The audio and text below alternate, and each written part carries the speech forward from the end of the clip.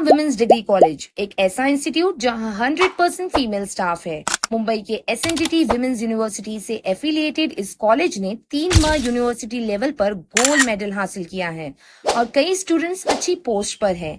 BA और BSc का 100 percent result आता है बीए, बीएससी, बीकॉम के साथ साथ डीएमएलटी और पैरामेडिकल के कोर्सेज भी यहाँ चलाए जाते हैं। और इस साल ईसीसीए भी शुरू किया गया है। इन कोर्सेज के ज़रिए कम से कम वक्त में एक अच्छी फ़ील्ड में जॉब मिल सकती है। ये कोर्स एसएससी और एचएससी के बाद स्टूडेंट्स कर सकते हैं। Last date of admission thirty first August है। कॉन्टेक्ट डिटेल स्क्रीन पर है।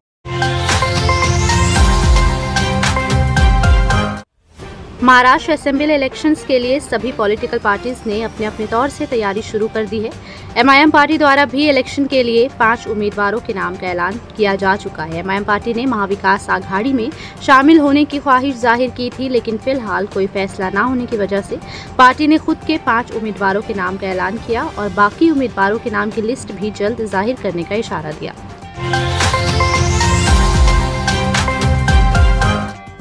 कल्याण में एक ऑटो रिक्शा ड्राइवर ने पैसेंजर छात्रा के साथ छेड़छाड़ की। बताया गया कि छात्रा रिक्शा में सवार होकर अपने घर जा रही थी, लेकिन रिक्शा ड्राइवर ने उसके साथ बदसलूकी शुरू की और बोलने के बावजूद रिक्शा नहीं रोकी। घबराकर छात्रा ने चलती रिक्शा से छलांग लगा दी और घर जाकर सारा मामला अपने पेरेंट्स को बताया। इस मामले में पुलिस द्वारा तहकीकात कर आरोपी ड्राइवर को गिरफ़्तार किया गया है।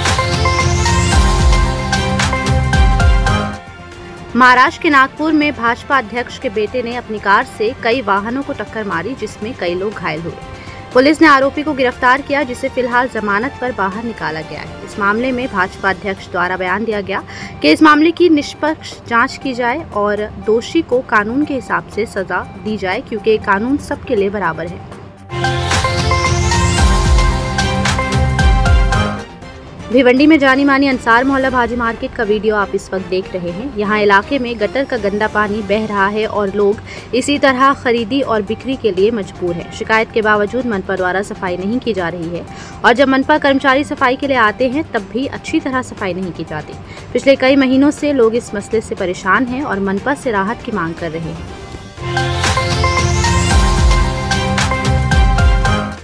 भिवंडी के रोशनबाग इलाके में रास्ते पर बिना सेफ्टी के काफ़ी बड़ा गड्ढा खोदा गया है। इस गड्ढे के आसपास कोई सेफ्टी बैरिकेडिंग नहीं की गई है, जिस वजह से अक्सर वाहन चालक इसमें गिर जाते हैं और अगर सूरत हाल इसी तरह बरकरार रही तो एक दिन बड़ा हादसा हो सकता है और किसी वाहन चालक की जान भी जा सकती है।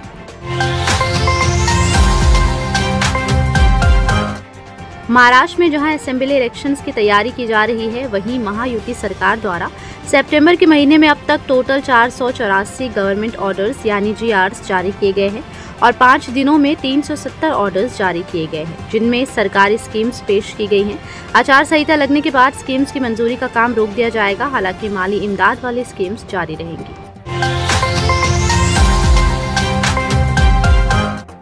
थाने घोड़बंदर रोड पर एक बार फिर सड़क हादसे में 11 लोग घायल हो गए। बताया गया कि एसटी बस ड्राइवर ने किसी वजह से बस पर से कंट्रोल खो दिया और यात्रियों से भरी बस मेट्रो पिलर में जा टकराई। इस हादसे में 11 लोग जख्मी हुए, जिन्हें इलाज के लिए मुख्तलिफ़ हॉस्पिटल्स में भर्ती करवाया गया। इस मामले की जाँच की जा रही है। भिवंडी भोईवाड़ा पुलिस स्टेशन के अंतर्गत एक तेज रफ्तार घोड़े ने 35 साल शख्स को टक्कर मार दी, जिसमें शख्स बुरी तरह घायल हो गए। खबरों के मुताबिक शख्स अपनी दोपहिया वाहन पर सवार थे, तभी ऑपोजिट डायरेक्शन से एक तेज रफ्तार घोड़ा उनकी तरफ़ आया और घोड़े ने शख्स को टक्कर मार दी। पुलिस ने इस मामले में घोड़े के ओनर पर मुख्तलिफ़ धाराओं के तहत मामला दर्ज किया।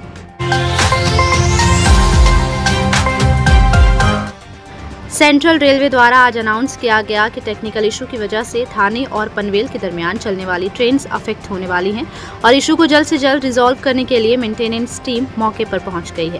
यात्रियों से अपील की गई है कि ट्रेन की अपडेट लेते रहें और यात्रा के लिए अल्टरनेटिव अरेंजमेंट्स करके रखें। भिवंडी में नई बस्ती में बस खराब हो जाने की वजह से इलाके में भारी ट्रैफ़िक जाम देखा गया। बीच सड़क पर ही अचानक से बस खराब हो गई, जिस वजह से साई बाबा से नई बस्ती तक रोड पर लोग भारी ट्रैफ़िक जाम में फंसे रहे।